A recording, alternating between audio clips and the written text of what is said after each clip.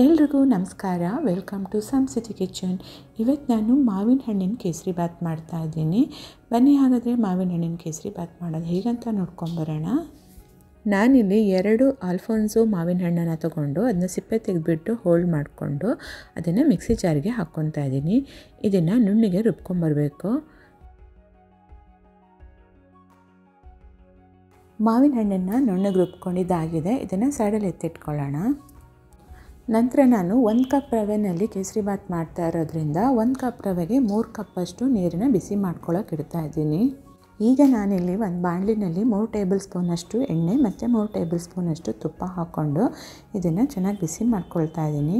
ಎಣ್ಣೆ ಮತ್ತು ತುಪ್ಪ ಎರಡನ್ನೂ ಉಪಯೋಗಿಸೋದ್ರಿಂದ ಕೇಸರಿ ಬಾತ್ ಎಷ್ಟೊತ್ತಿಟ್ರೂ ಗಟ್ಟಿ ಆಗಲ್ಲ ಸಾಫ್ಟಾಗಿರುತ್ತೆ ನಂತರ ನಾನು ಇದಕ್ಕೆ ಒನ್ ಟೇಬಲ್ ಸ್ಪೂನಷ್ಟು ಗೋಡಂಬಿ ಮತ್ತು ಎರಡೇ ಎರಡು ಲವಂಗ ಹಾಕ್ಕೊಂಡು ಇದನ್ನು ಚೆನ್ನಾಗಿ ಫ್ರೈ ಮಾಡ್ಕೊಳ್ತಾ ಇದ್ದೀನಿ.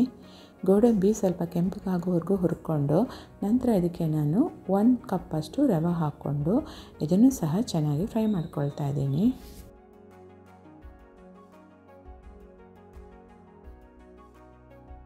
ನೋಡಿ, ಇವಾಗ ರವೆ ಚೆನ್ನಾಗಿ ಹುರಿದಿದ್ದಾಗಿದೆ ಈಗ ಇದಕ್ಕೆ ನಾನು ಒಂದು ಕಪ್ಪಷ್ಟು ಸಕ್ಕರೆ ಹಾಕ್ಕೊತಾ ಇದ್ದೀನಿ.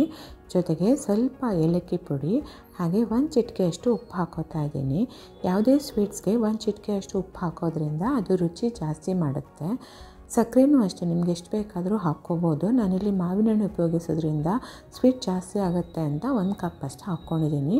ನಿಮಗೆ ಜಾಸ್ತಿ ಸ್ವೀಟ್ ಬೇಕು ಅಂದರೆ ಜಾಸ್ತಿ ಸಕ್ಕರೆ ಹಾಕ್ಕೋಬೋದು. ಈಗ ನೋಡಿ ನೀರನ್ನು ಬಿಸಿ ಮಾಡೋಕ್ಕೆ ಇಟ್ಟಿದ್ವಲ್ಲ ಅದು ನೀರು ಕುದೀತಾ ಇದೆ.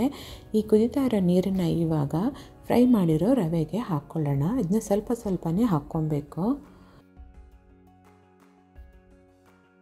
ನೀರು ಹಾಕಿದ್ಮೇಲೆ ಇದನ್ನು ಗಂಟಾಗದೇ ಇರೋ ಥರದಲ್ಲಿ ಚೆನ್ನಾಗಿ ಕಲಿಸ್ಕೊಬೇಕು.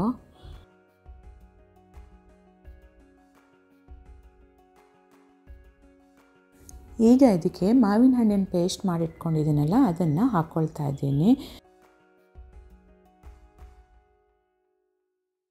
ಮಿಕ್ಸಿ ಜಾರ್ಗೆ ಸ್ವಲ್ಪ ನೀರು ಹಾಕ್ಕೊಂಡು ಆ ನೀರನ್ನು ಸಹ ಇದಕ್ಕೆ ಹಾಕ್ಕೊಳ್ತಾ ಇದ್ದೀನಿ.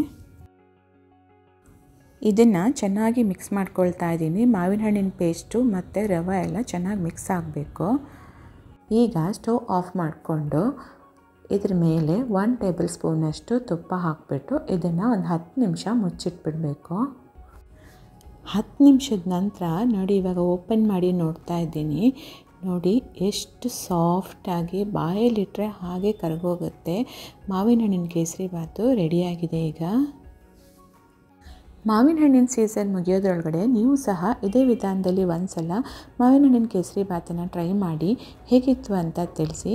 ಹಾಗೆ ಈ ವಿಡಿಯೋ ನಿಮಗೆ ಇಷ್ಟ ಆಗಿದ್ದರೆ ಲೈಕ್ ಮಾಡಿ ಶೇರ್ ಮಾಡಿ, ಹಾಗೂ ಇನ್ನೂ ಹೆಚ್ಚಿನ ರೆಸಿಪಿಗಾಗಿ ನನ್ನ ಚಾನಲ್ನ ಸಬ್ಸ್ಕ್ರೈಬ್ ಮಾಡಿಕೊಂಡು ನನಗೆ ಸಪೋರ್ಟ್ ಮಾಡಿ ಅಂತ ಹೇಳ್ತಾ ಮುಂದಿನ ವಿಡಿಯೋದಲ್ಲಿ ಮತ್ತೆ ಭೇಟಿ ಆಗ್ತೀನಿ ಅಲ್ಲಿವರೆಗೂ ನಮಸ್ಕಾರ.